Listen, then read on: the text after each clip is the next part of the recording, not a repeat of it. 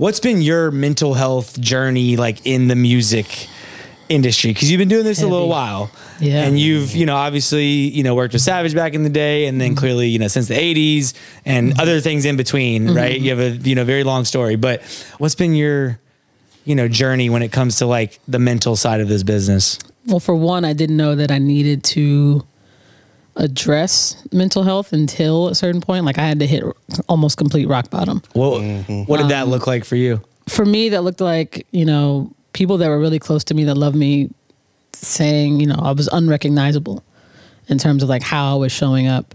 I had a, cl- a really close friend of mine, you know, after losing a friend, a mutual friend of ours, come to me and be like, I don't think you know who you are. And I was like, what? What do you mean by that? Like, what do you even mean by that? Right. And not even, you know, just com- completely at a loss. Like, I don't know what you're talking about. Like, I know who I am. I'm Kei. I'm this Grammy winning manager and, you know, I'm doing this, I'm doing that, and yada, yada, yada, yada. All these outside things, right? That like completed who I thought I was, right?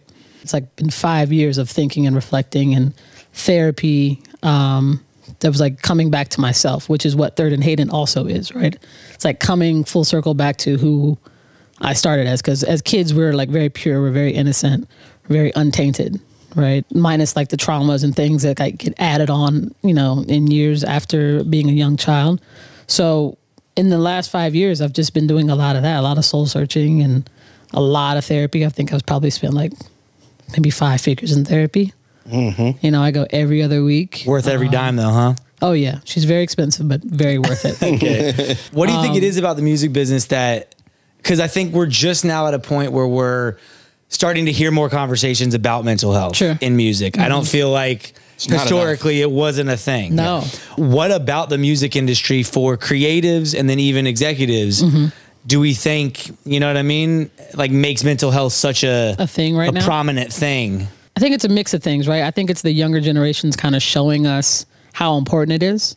Like there's a lot of younger people who prioritize mental health and and the self work, the shadow work, taking days off. Like when I was coming up, taking a day off sounded insane.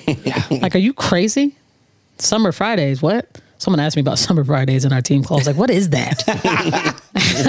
what? Um, but we, our gener, my generation in particular, I'm obviously a little older than y'all. Like, we worked to the bone, like because we had to, because we thought we had to, because we saw, we saw the people before us working their asses off. You know what I mean? So we thought we had to do that, and so you just you're not conscious of how much you're ignoring yourself, and how much you're ignoring, you know, your your mental health and taking care of yourself and getting to know yourself, getting to see what you don't like, who you do like a lot of our events are around open bars. There's a lot of drinking. You do a lot of dumb things when you're wasted out of your mind four days a week, five days a week, because you're at these networking events. So I think just in the last few years, it's become so like at the forefront because a lot of us hit rock bottom, right? During the pandemic, in the middle of the pandemic, before the pandemic, where we're just like, we're washed. I'm tired. I'm exhausted Su- suicidal ideation became a bigger thing that you know our community is talking about and we've seen chris lighties and really big people like want to get out of here and i think it's, it's a lot of it is the younger people being like yo that's not healthy that's not cool to not know who you are you know it's not cool to not take a day off like we don't have to be working 24-7 we're actually not curing cancer though i do think music is very healing you can take a day off and you should take a day off right Why do so many artists, do you think, struggle with? mental health Yeah. I mean, their entire job is almost being performative. And being performative is like, it's very detrimental to your spirit and your soul if you let it be, right? I'm always having to show up for other people. Always, you know, you can't repeat outfits and you got to be fresh. And are you attractive? Are you too heavy? Like, it's a lot of self con, like, it makes you very self conscious, I think, to be an artist and to be always on display. Like, imagine someone just always watching you, like the Truman Show. Mm. You know, like that can be very deteriorating to who you are as a human being. But I think there's a lot of artists who do a great job in not letting him, not letting it take them under, or even if they did let him take it under, take them under, they talked about it. You know, Kendrick talked about, you know, his therapy journey, mm-hmm. which is why you know I I resonate and connect with with his journey. Drake has not told me anything about his. Back to her hating Drake. I Okay. don't hate Full Drake. circle. This Drizzy- entire episode is about my hate. Drizzy, she doesn't fuck with you, bro. That's not true. Cue the BBL Drizzy. I just want to hear what he's. I want to hear what he's talking about in therapy. Yeah, That's it. He's definitely doing it. Because it. we're the, we're the same age. You got to be going through something. yeah. The money's Yeah. not fixing everything. No, it's so can't. true. I'd love to see like labels have in-house therapists. well, our deals come with mental health funds.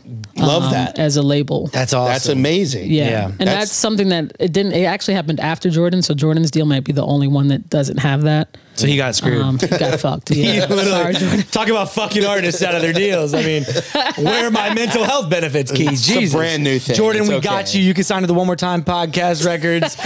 we give you full mental health benefits. You can be our first artist. We'd love to poach you Go to from white Third and man. They go to white man. Oh God! and now it turned racial. Now it's racist. Yeah. Wow. We are in Georgia. Okay. It's true. Well, Atlanta. Make that a clip. Yeah. Yeah. No, we're in Stone Mountain. Where are we at? That is this is Stone Mountain. This is the heart of racism.